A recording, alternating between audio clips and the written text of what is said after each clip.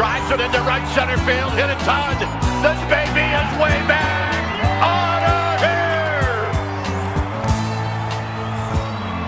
What's going on, everybody? Welcome back to the Humm Baby Baseball channel and today gonna finish my series on grading the 2019 San Francisco Giants and we're going to the bullpen. The bullpen had been a major issue for the Giants for several years, especially in 2016.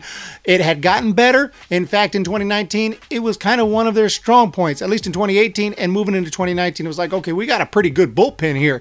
And they were pretty good. Unfortunately, their closer, Will Smith, became a free agent. He is now with Atlanta. So Will Smith won't be coming back, but a lot of these other guys will, and that's what we're going to focus on. So Will Smith, not going to give him an official grade. I probably would have given him an A or an A minus. I mean, he was really good, but he's no longer with the Giants. So moving on, let's talk about some of these guys who were with the Giants in 2019. And I'm going to start with a guy named Trevor Gott. This guy was claimed off waivers from Washington. He was a very quality arm in 2019. He gave up just 41 hits in 51.2 innings and struck out 57 batters. ERA a little up at 4.44. He got a little bit roughed up, especially towards the end of the year. But all in all, I thought Trevor Gott looks great coming out of the bullpen. I wouldn't say absolutely dominant, but it looked like he wasn't having any problems getting guys out. His arm looked good, his stuff looked good, and uh, he was a nice reliever and a very nice piece in that bullpen. And I know win loss record doesn't matter that much, especially with the relievers, but he was 7 and 0 if that means anything. 7 and 0, so not bad there. Looking forward to having him back in 2020. That's going to be a really nice piece in the bullpen. Going to give him a solid B plus. Next up, the lefty specialist, Tony Watson. Was real glad to pick up Tony Watson a few years ago. He had been really good in 17, 18, but in 2019, he didn't look as sharp. He kind of struggled a little bit, struggled with his command, and uh, just didn't have the best season. In fact, his ERA jumped from 2.59 in 2018 to 4.17. Strikeouts per nine went from 9.8 down to 6.8. So overall, not too effective, but he did have his share of quality outings where he came in and got the job done. He got the lefty out and things like that. I mean, I, uh, multiple times I can remember him doing well. I was surprised that his stats were as bad as they were because I didn't remember him being horrible, but I do remember several times he did get hit hard. He get, did get roughed up. So it wasn't the best year for him. It wasn't a horrific year. Glad he's coming back and hopefully he has a bounce back year in 2020, but I can't give him a super high grade. I'm going to give him a C plus.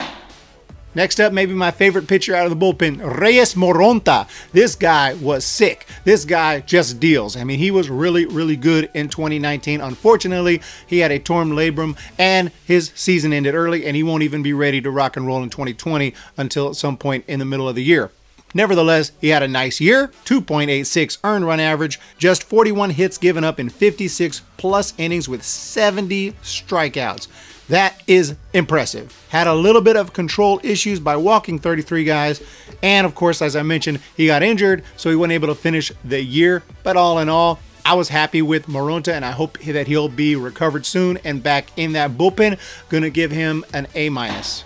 Next up, the rookie Sam Coonrod. He can throw hard. He gets it up there. 97 98. He can dominate hitters. He looked pretty good. Not great every time, but he was a rookie, and hopefully he will be an important piece to that bullpen going forward. His ERA was up about 3.58, but again, he can throw hard. He can strike guys out. He's got a lot of potential. Gave up just 19 hits in 27 plus innings, and again, just a young kid here, just getting into the big leagues. Hopefully, he does better in 2020. Not that he did bad, because I think for his first year coming up as a reliever, he did fantastic. And I have to give him a decent grade.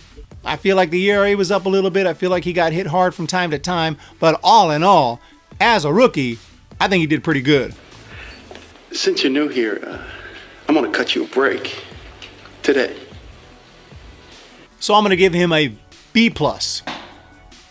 Next up, this is a guy who was in the Giants organization in the minor leagues, toiling away for seven years, riding buses, but dominating many of those seven years. And the Giants, I don't know what happened. They just forgot about him. What happened? Why didn't they promote Tyler Rogers? This guy was pitching lights out for years, especially with the River Cats talking about a 2.37 ERA in 2017, then improved 2.13 in 2018, never gets promoted until finally he gets his chance in 2019 he comes up and gives up two runs in 17 plus innings. It's a small sample size, but he still dominated during that small sample size that he got. He looks really good. I wanted to talk about him and give him a grade because I think he is going to be a big piece moving forward. Hopefully, he continues to dominate.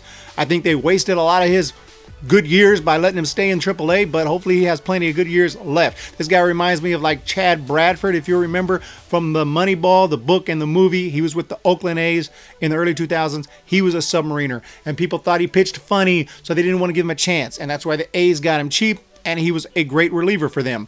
Well, this guy could be a great reliever for the Giants. So what if he pitches funny or submarine? That's that's the point. Batters are not used to seeing it. It's deceptive. Let him go out there, see if he can get the job done. I'm gonna give him. I can't give him an A plus because of the small sample size, but I'm gonna give him a solid A. Another guy with a small sample size is Jandel Gustave, gave up just 8 hits in 24 plus innings, 2.96 ERA. Former Astros prospect, he had Tommy John, but he came back and he was solid. He struck out 29 in 29 in AAA. Really enjoyed watching this guy and looking forward to him being in the bullpen going forward. Again, very small sample size, but I'm going to give him a nice B+. plus. And there were several guys who really didn't pitch enough innings to give a solid grade to, but they looked good at times, and they'll be part of the bullpen moving forward. Guys like Sam Selman. Sam Selman was absolutely dominant in AAA. Look for him in 2020. Connor Menez, look for him in 2020. Anderson Franco, maybe he might help out too in 2020. There are a lot of arms that are pretty good and did well in AAA. Got a very small sample size in the big leagues looks pretty good, but not enough to grade. But there are a couple of guys who were starters and relievers last year who I did not talk about in my starter segment. And I got to talk about these guys because they could be important parts of the Giants, either rotation or bullpen. Probably bullpen for this guy, and that's going to be Shaun Anderson. A definitely a solid arm. Came over, I believe, from the Red Sox in the Eduardo Nunez deal, if I'm not mistaken but Shaun Anderson can throw some heat, especially coming out of the bullpen, because he can just rear back and freaking fire. He was hitting 95, 96 on the gun, but he had a high ERA. On the season, it was 5.44. He gave up 111 hits in just 96 innings. Not great, but I felt like when he went to the bullpen, he looked more dominant. He looked more comfortable. And if you do a little research, he actually was a reliever in college. He never started in college. So he was converted to a starter at some point. Starter, starter, starter, starter, starter. He was converted to a starter at some point. But now he's back in the bullpen. So We'll see what happens. Obviously, he can go back to the rotation, but I think I like him in the bullpen. He could be a closer. He could be a, a setup man. I mean, he's got good stuff. So Shaun Anderson someone to look forward to in 2020. As far as his 2019 performance, overall, it'd probably be like a C, maybe a C minus. But based on just the bullpen, since this is a bullpen segment, I'm just going to focus on his time coming out of the bullpen. And I thought he looked pretty good. I'm going to give him a B minus. And last, a guy I did not talk about in my starter segment because I don't know where he's going to be in 2020, but that's Dereck Rodriguez. And I I like Dereck Rodriguez in the rotation because I visualize that 2018 Dereck Rodriguez, the guy who we were talking about maybe is going to be a rookie of the year candidate. He was just dominating, putting up goose eggs every inning. The guy looks great, and I'm like, awesome. I don't know where this guy came from. Well, I know where he came from. He came from Ivan Rodriguez, but this guy was awesome. And I really, really was excited to see him in the rotation in 2019 because I'm like, here we go. We got, even if he is not as good, he's still freaking, I mean, this guy is a definite starter. Put him in there, at least as a four or five guy. That's one guy we don't got to worry about. But unfortunately, he got roughed up in 2019. He didn't pitch well. He got sent back to the minors. He couldn't control. I mean, it's not that he was walking people, but he was throwing the ball right over the plate and just leaving it up there, and the ball was getting crushed. He was just not locating properly, and uh, he got completely destroyed out there. Sent back to the minors, came back, and out of the bullpen. I think he did better. He had some nice outings, but all in all, I mean, I thought it was a disappointing year for Dereck Rodriguez. I don't know where he's going to be going forward.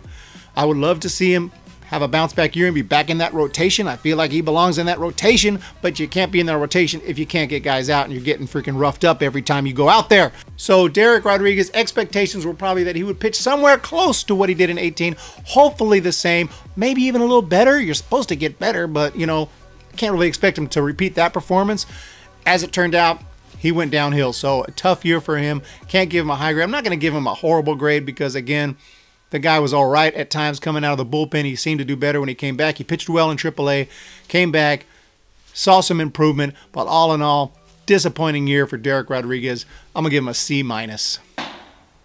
So thank you for checking out my grading the 2019 Giants again guys to look forward to. Also, Wandy Peralta is another guy that's going to be pitching in 2020. So look out for these guys in 2020. The bullpen could be good. It could be awful. You just don't know how these guys are going to bounce back. We'll see what happens with Shaun Anderson. We'll see what happens with some of these guys if they can continue to pitch well out of that bullpen or if they can start to pitch well out of that bullpen if they haven't been. So that's the question in 2020. Looking forward to it anyway. Can't wait. What do you guys think of the bullpen? Thanks again, everybody, for joining me. Hit that subscribe button if you don't mind. I would really appreciate it if you're not subscribed. Really helps me out a lot. Hit that thumbs up button. Means a lot to me. We're going to be talking Giants all off season long, getting ready for 2020. Coming live with pregame shows, postgame shows. We're going to be doing it all. Baseball, baseball, baseball, right here on the Humm Baby Baseball channel. Don't miss it. Hit subscribe subscribe. Talk to you next time. See ya! When the Giants come to town, it's bye bye, baby. Every time the chips are down, it's bye bye, baby. History's in the making at Oracle.